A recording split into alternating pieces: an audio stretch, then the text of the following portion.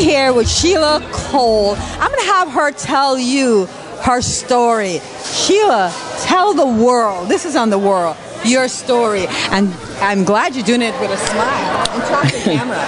I found Andy in a woman's magazine in Milwaukee, Wisconsin, and decided he was the perfect person to illustrate something I was writing, a children's book. I'm a writer. I've been writing since I was, I guess, about six, but since I was 13 selling. So, Tell us. Tell us more. oh well, I I um, I knew I needed to get to New York to write uh, for money, for more money than I was earning at the Milwaukee Journal, and uh, so I was at Wisconsin U, and so I told the dean that I was going to check out for next semester.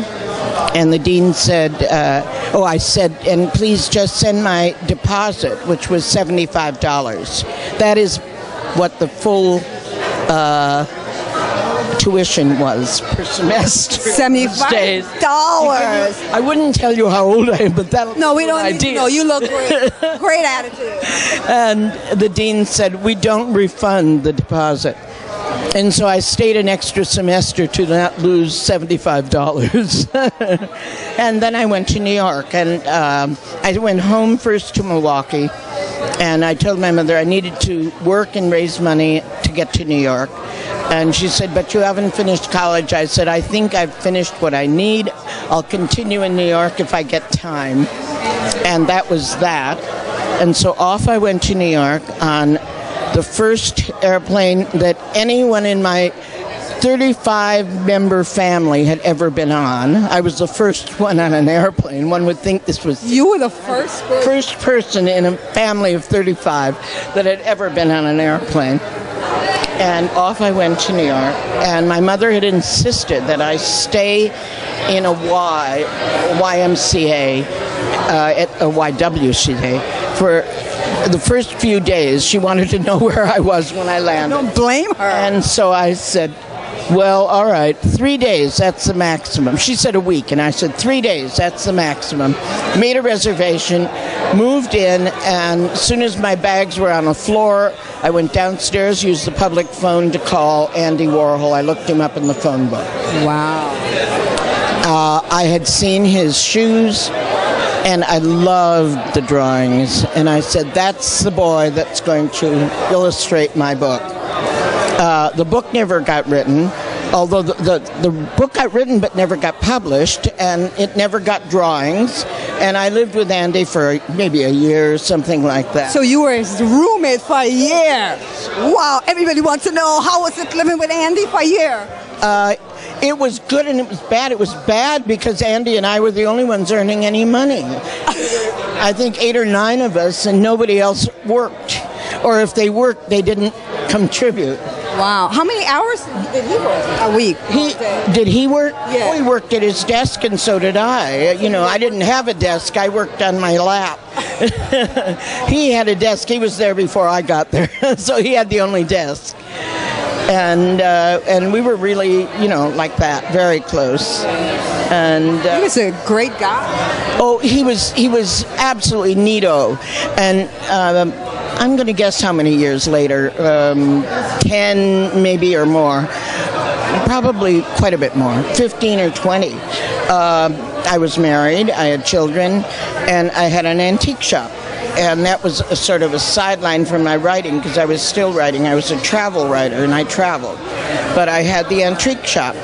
And Andy used to live quite near there at the time and would come in all the time and buy something or visit and so on. And um, one day he came in years later, maybe four or five years later, and I said, Andy, you know, I was cleaning up a bookcase and I found two things that you gave me back when we lived together.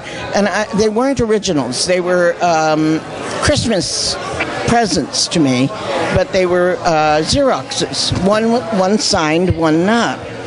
And so I said, you know, it seems sensible now, Andy, that you're earning a thousand dollars a picture. Mind that, a thousand. Wow. He was making a thousand dollars back then a picture. That was nothing, but it was so much then to all of us. So much. Today it's Yeah, sure.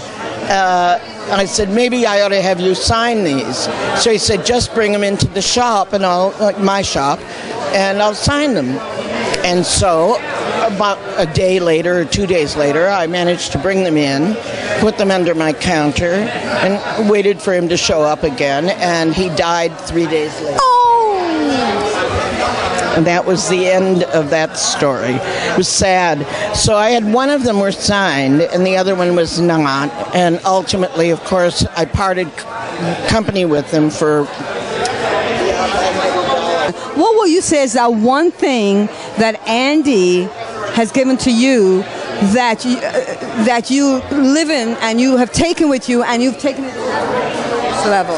Well, it's hard to say this, and it probably isn't radio or TV language, but I'd say before I met Andy, I had balls. And after I met Andy, I knew there was somebody else in the world that had balls, and neither of us needed them for what we went on to. I mean, it was just. I knew he was going to make it big, and he always knew I would, and and we both did. That is beautiful. So you said before, that, I love what you just said, the balls. You do have the balls. And if you had to describe balls, that guts to go out there and to take that risk and to take- do what you take the risk and and take your piece of it. Yes. What do you do now? Uh, I'm still an author, Very and I have one book. Uh, Don't try it on 11th Street, another New York book, and um, that's published. It's available all the obvious places, Borders and Amazon and so forth. And I'm working on a second book, which is about um, a niece of mine who was killed in Alaska on a fishing boat. Sorry to hear. And so it's an Alaskan fishing story. How how many hours a day do you spend writing your book or spend A writing? sinful amount. a totally sinful amount. I read all the people like Joyce Carol Oates who, you know, sit down on any given hour and stay five hours no matter what happens. You don't even go to the bathroom. You simply sit there and Sit. and wait until the five hours are up. And I don't do that. I just go when things are nagging away at me, and then I just write and write and write and write and write until I stop. Does that come from? Do you think it comes? Oh, you don't know.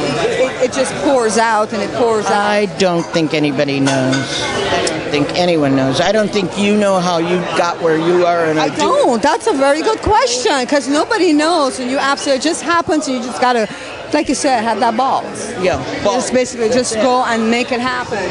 So, what's brought you here today? Why are we here? I'm a date of Thomas, and I'm a 50 year friend of uh, Vito, but both of us are only 49, so you can figure that one out. Age doesn't matter. Doesn't matter. You know what matters? What's inside the heart. That's right. To the heart. And this is a beautiful place. Isn't it great? And I think it's marvelous that this has made this crowd.